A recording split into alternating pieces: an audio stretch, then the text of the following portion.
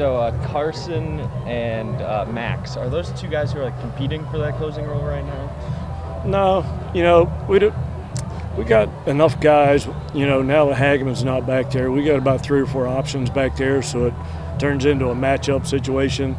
Uh, Carson was throwing great, uh, but with the lefty up there uh, to finish the game, uh, he's not as good against lefties, and Max is throwing as good as he has all year. So both Max and Carson come in throwing 95 miles an hour. So really encouraging to know that in big moments you get their best stuff. So those guys will probably be in that role the rest of the season.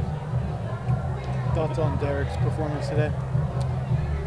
Wasn't as sharp as normal, I didn't think, but one thing you can count on that dude is he's going to compete on every pitch of the whole game. You know, it, it's okay to give up runs with him on the mound because you know he's done everything right to prepare himself for that position that he's in. So, and the guys know that. We always play good defense behind him. Uh, the games usually go pretty quick because he's a strike thrower, but uh, just it's always just fun to watch, you know. And the plays he makes on on defense are just he, he can change the game with how he fields his position. Kind of feels like we ask you this every time Derek pitches, but his ability to go long, what does that do to the confidence of this team? Knowing, I, I guess, just if you get one run on the board, it feels like it's going to be enough. Yeah, you know, I think they know that if we have to use guys in relief on Friday, uh, they know for the most part they're going to get a day's rest before we're going to need them again. And that allows them to prepare a little bit differently. If you know Derek can give you 100 plus pitches, you know, you don't have to.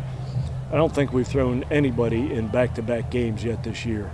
And a lot of that is because of what Derek does. And that's why Max and Carson are throwing as good as they have all year right now, is because Derek has done what Derek's done, and they haven't had to pitch too much out of the pen. As far as Derek goes, when he's kind of getting up there in that pitch range of 120, 125, do you have a limit of where he can't go past, or is it kind of a feel thing based on a start? It, it's a feel thing. You know, it's not easy to do that every time out, and he does it every time out. But he came off the field in the seventh, and as he was running off the field, he looked at me and said, I got one more in me. I got one more in me. So when a guy like that says that, I trust his opinion. And uh, he did. He just he throws his heart out there and gives you all he's got. Coach, a year ago, Kyle West is playing Division two baseball. A year later, he's now leading your team in home runs. That statement surprise you at all? Or? Had we had you asked me that in the fall, Yeah. I'd say yes. But he has he's come so far, and that's what that's the the difference in Division Two to Division One. You don't just jump in and have success. You got you got to learn how to have success, and all credit goes to him because not only is he a better hitter, he's a better runner and a better thrower, and a better eater and a better sleeper, and he has uh, dived into our resources and our culture, and that's why he's doing what he's doing because he's using everything that we offer these kids uh, to the nth degree, and, and that's why he's getting better all the way around. Obviously, he's an in-state kid. So does that play a role in the fact that you know he catches your eye, or was there something? I mean, I don't know how many D2 guys you you look at. I mean, All of them. okay, all right. but That's he. I mean- he had 22 or 23 Right. homers, so everybody around the country that gets on the computer and types in transfer portal knew that Kyle West was available. But uh, my coaches did their thing and recruited him, and since he's an in-state kid, that's uh, he takes a ton of pride in being here, and, and every time he plays, he's got 20 or 30 people in the stands, and our our fans usually gravitate toward West Virginia kids, and it's it's kind of fun to see what he's doing for them and what they're doing for him. It's just uh, it seems like it's a match made in heaven. A little bit of that because you saw him in person. Yeah, he played game, against yeah, us a yeah. couple years ago, and uh, we're not going to make a decision off that game. But but uh, he had a good summer in the Northwoods League and hit some homers, and and uh, we knew it was going to take a little while, but the transformation he's made is just incredible. So Susan, if you're looking at all D2 kids, and obviously there's, you know, eight, nine hundred thousand D1 kids in the portal, that's a lot of guys you look at over the course of one off season. Oh yeah, that's what the portal is. Yeah. It's just it's so loaded with people. You just gotta, if you take a day off from the portal, you you miss kids. So uh, the assistant coaches are up there every day, uh, just tracking kids that number one are in the portal, number two looks like they might get in the portal, and and so as soon as they do, you got to jump on them quick because everybody out there is doing what we're doing with these portal kids. So you're automatically recruiting against a ton of schools. I know And had you looked at him at all coming out of high school, out of Hedgesville? I'm sure. The uh, coach Sabins, I think, uh, knew who Cal was, but he needed that uh, couple years of transition to uh, to do what he did, and he saw he he bridged that gap and saw that D2 pitching, and now he's seeing D1 pitching. Uh, If a kid like that comes straight here out of high school and gets overmatched for a year or two, you lose confidence, and he might get in the portal from here Right. instead of get in the portal to come here.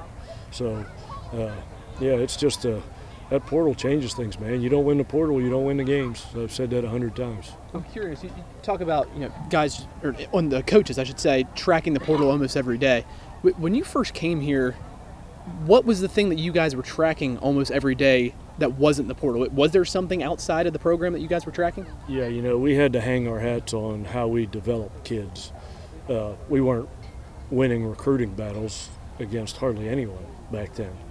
Uh, so, you know, those early guys, the the Darius Hills and uh, Pudge and Manoah and those guys, you know, Manoah was here in 2019, but we recruited him in 2014 and 2015, not long after we got here. So, at that time, you're just hanging your hat on trying to develop young kids into good players. And once we did that and established the, the culture that we have in our program, then you start winning games. And now all of a sudden you have, uh, you're getting better kids to add to that culture. But, you know, this, this is alumni weekend and we've got a bunch of kids back that were on that first team of ours, 2013 or whatever it was when I got here. That, that team there really set the tone for what we're doing now. What what that team was made of. Now, listen to this now. In 2013, our first year in the Big 12, Harrison Musgrave was on that team. He threw five straight complete game shutouts on Friday night in the Big 12. He single-handedly changed the standings for us to finish third in our first year. We had the top three hitters in the Big 12 in year one. Billy Fleming, Bobby Boyd, Ryan McBroom finished one, two, and three in the Big 12. If not for that, this transformation probably would have taken a lot longer than it actually did. But to have that success with those kids that we didn't recruit, they were they were in place. Those guys were Mountaineers when I got here, uh, and to see these kids back now, uh, those those guys and the alums over here today, the '94 team that uh, won the won the last championship, and those guys set the tone for where we are now. It's just it's nice to make them proud of what we're doing now. I just I've always tried to reach out to them and let them know how much I appreciate uh, what they've done for this program because without them we're not where we are. Were you sweating out that last video review, or were you're pretty confident that I was I'm rarely confident, but I've I've said in the past that has turned into the most exciting play in baseball, waiting for the umpires to come out of the video room. Uh, so you never know, but I wasn't too happy the amount of time they spent in there. It looked pretty cut and dried to me that JJ caught the ball, but when they're in there for so long, I think they're looking for reasons to overturn something. So, but I was pretty confident. I actually gave my microphone away to uh, our director of ops before they came out of there because I, I saw the play pretty clearly. Good.